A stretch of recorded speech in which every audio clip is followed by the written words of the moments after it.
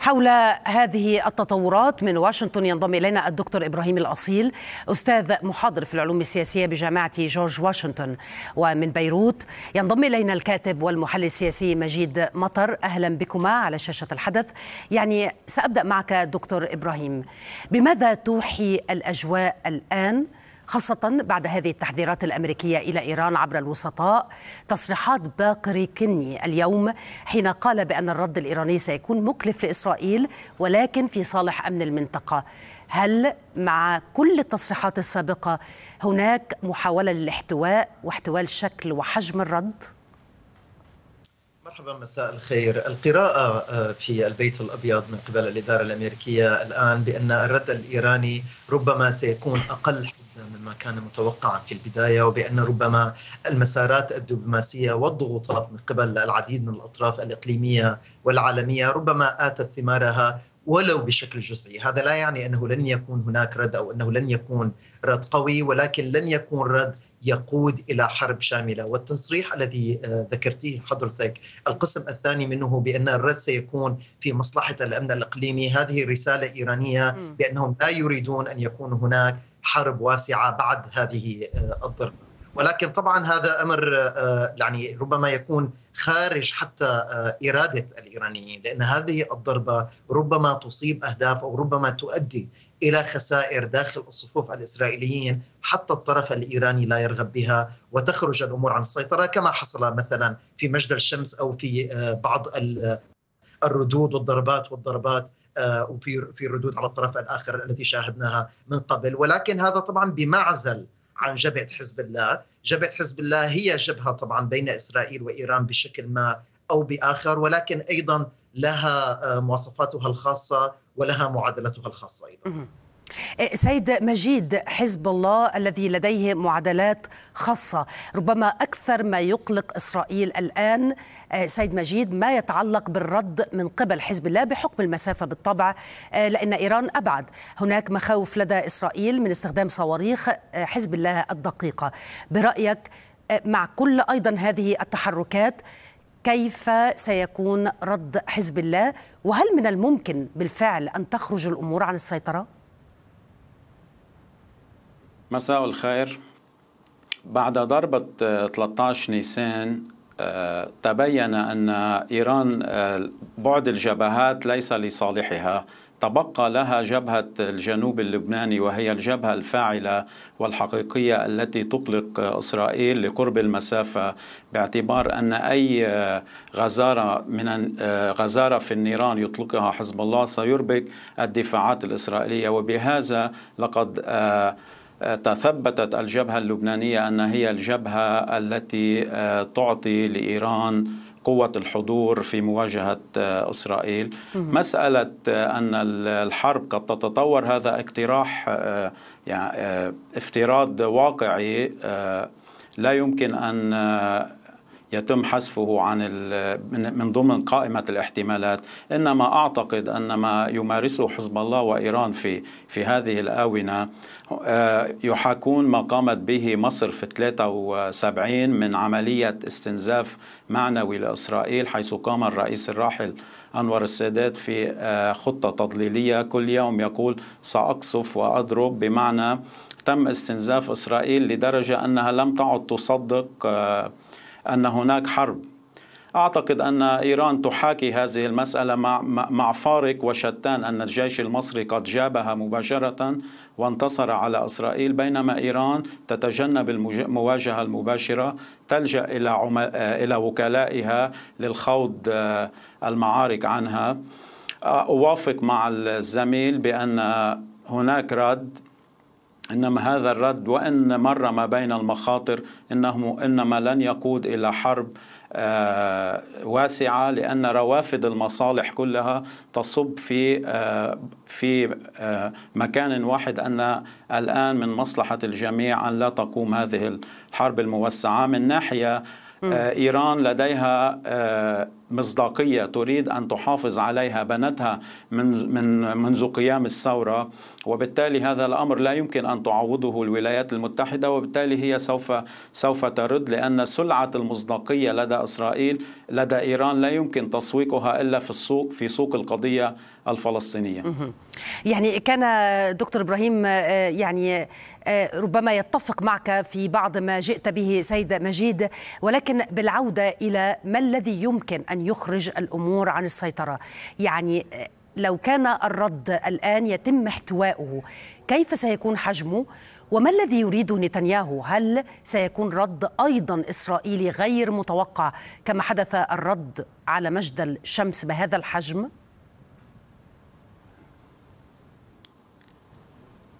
عفوا السؤال لي أم للضيف من بيروت؟ لك دكتور إبراهيم آه عذرا. أعتقد أن في هذه النقطة ما يمكن أن يخرج الأمور عن السيطرة هو إصابة مراكز مدنية مراكز واسعة مناطق جديدة خارج قواعد الاشتباك. أهم ما نحتاج أن نراقبه من هذه الجولة ونستنتج مما بعدها هل تغيرت قواعد الاشتباك؟ بين الإسرائيليين وبين حزب الله وبين إسرائيل والإيرانيين أم لم تتغير؟ هل تغيرت المناطق التي يستهدفها الطرفين أم لم تتغير؟ هل تغيرت حسابات الطرفين في المخاطر والتكلفة وما يسعون إلى تحقيقه من كل هذه الجولات أم لم تتغير؟ في حال لم تتغير تبقى هذه العمليات في الجانب التكتيكي، ولكن فعلا إذا ما قام حزب الله أو إيران بإصابة مناطق جديدة داخل العمق الإسرائيلي وخصوصا إذا ما كانت قريبة من مفاعلات نووية ومن مناطق حساسة. هذا على الأغلب سيدفع الإسرائيليين أيضا إلى توسيع رقعة الضرب داخل لبنان وإلى إضافة مناطق جديدة وربما إضافة شخصيات كانت أيضا خارج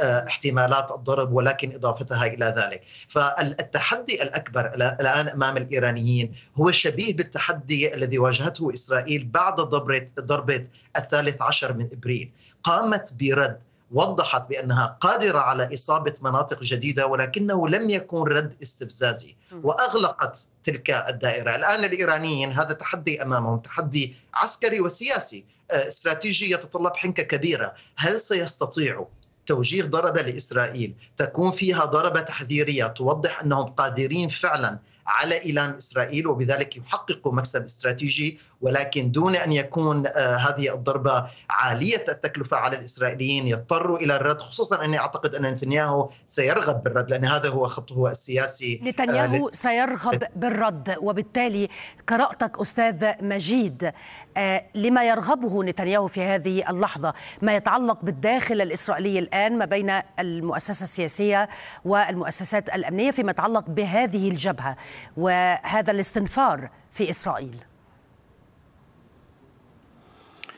إسرائيل مركزة كل جهدها على جبهة غزة.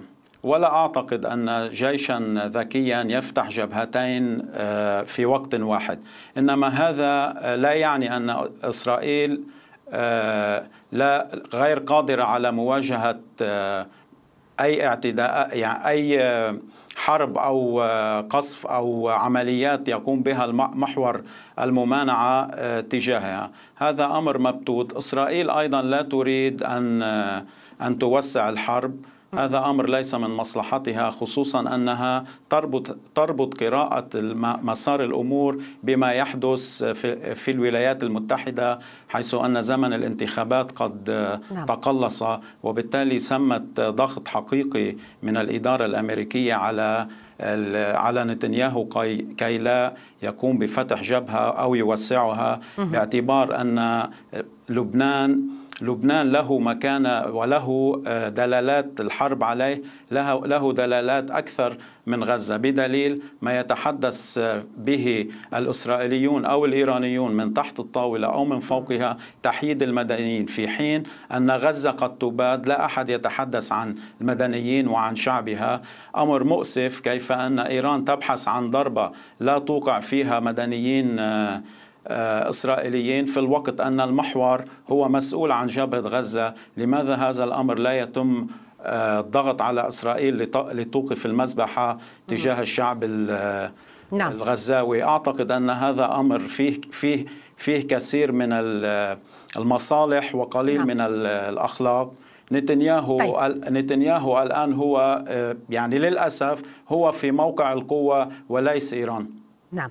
هنا دكتور إبراهيم هل يمكن الربط يعني بعد يعني يوم أو يومين تقريبا من اغتيال إسماعيل هنية في طهران كان هناك وفد إسرائيلي سيذهب إلى القاهرة للتفاوض فيما يتعلق بمفاوضات وقف إطلاق النار منذ قليل خرج بيان ثلاثي أمريكي مصري قطري حول استئناف ودعوة الطرفين لاستئناف المفاوضات. هل يمكن ربط هذا التحرك الآن وهذا الضغط الأمريكي آه والذي بدأ أنه غير راضي عما حدث من اغتيالات بحجم وشكل الرد القادم الإيراني. طبعا هذه التحركات جميعها تحاول طبعا الضغط على الإيرانيين وفتح المجال أمامهم بإعطائهم بعض الخيارات البديلة كي لا يضطروا إلى الثأر يعني كما يمكن أن نقول لأن إيران أيضا الآن هي دولة جريحة كما كانت إسرائيل وما زالت بعد السابع من أكتوبر تحاول إعادة ترميم موضوع الردع وصورة الردع في المنطقة. وهذا أيضا ينطبق على الإيرانيين. وأريد أن أبني هنا على نقطة مهمة أشار لها الزميل من بيروت بأن الإيرانيين بنوا هذه شبكة التحالفات لأنهم لا يريدوا أن يدفعوا فاتورة دم في هذه الصراعات. فاتورة الدم تأتي من اليمن من سوريا من العراق من لبنان ولكن فقط الأسلحة تأتي من إيران. والسبب واضح وجلي بأن هذه الحرب مع إسرائيل وهذا النظام ليس لديهم شعبية كافية داخل المجتمع الإيراني وأي حرب بمواجهة مفتوحة تكلف الإيرانيين الدماء الإيرانية سيكون لها ردة فعل كبيرة داخل الإيرانيين، بالعودة إلى سؤالك لأجيب بشكل مباشر. أيضا الأمريكيين طبعا بنفس الوقت الذي يقوموا به بالعمل دبلوماسيا مع الكثير من الحلفاء والشركاء في المنطقة كما ذكرتي الأردنيين، المصريين، القطريين وبدرجة أقل أيضا الأتراك، أيضا وجهوا لإرسال حاملات طائرات إلى المنطقة لإرسال رسالة واضحة لإيران لأن الولايات المتحدة الأمريكية لا تريد توسيع هذه الحرب ولكن إذا ما توسعت هذه الحرب لا أعتقد أن الولايات المتحدة الأمريكية ستتردد في الدخول إلى جانب إسرائيل إذا ما كانت هذه الحرب نعم. ليست إسرائيل ضد حزب الله إنما إسرائيل ضد إيران.